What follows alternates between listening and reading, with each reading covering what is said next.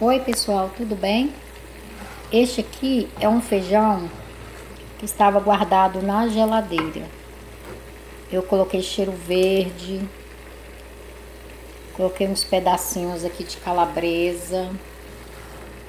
E eu quero esquentar esse feijão novamente. Só que ele tem essa espuma aqui ao redor. Olha para vocês verem. O que é que eu tenho que fazer? Eu vou colocar o feijão em fogo alto. Vou pegar uma tampa, vou tampar o feijão.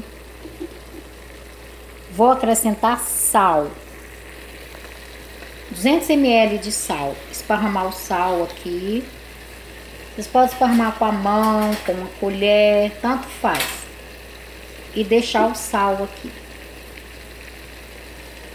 Pode deixar ferver à vontade, fogo alto.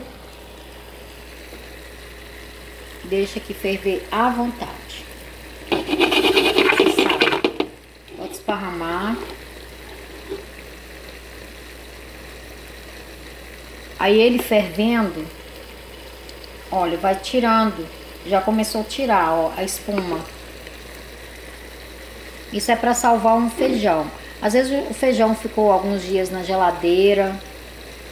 Eu gosto de feijão cozido todos os dias.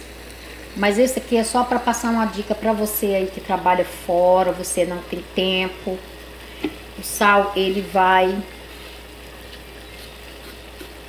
Ó, ele vai até diminuindo, tá vendo? Ele vai diminuindo.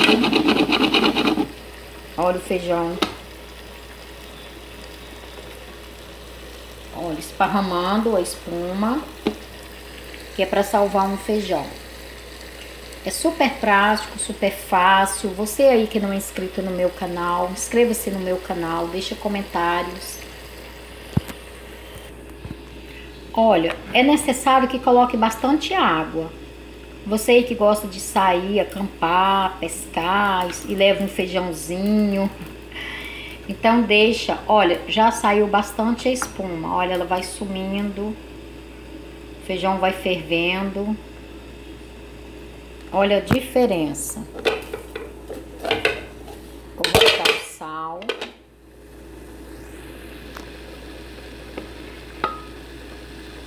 E você deixa ferver.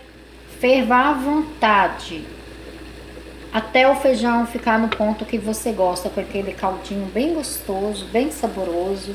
Meu, feijão eu coloquei bastante tempero que eu gosto. Esta é uma forma prática de você voltar o feijão como se ele estivesse cozido neste exato momento. Um feijão fresquinho. Pode esparramar bem o sal. Deixa tampado, fervendo Aí voltando aqui com o feijão. Aquela espuma indesejável vai indo embora e o feijão vai voltando ao normal. Ferva até o ponto que você gosta. Eu gosto com caldinho bem grosso. E aí está o feijão voltando à realidade.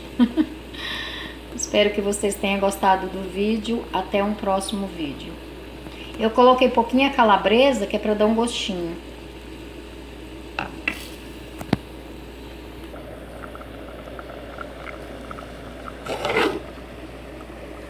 Vou deixar agora o meu fervendo e vocês viram uma dica maravilhosa como recuperar um feijão.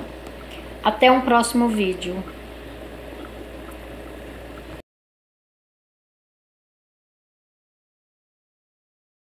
Terminou de ferver, eu tirei a tampa que estava com sal.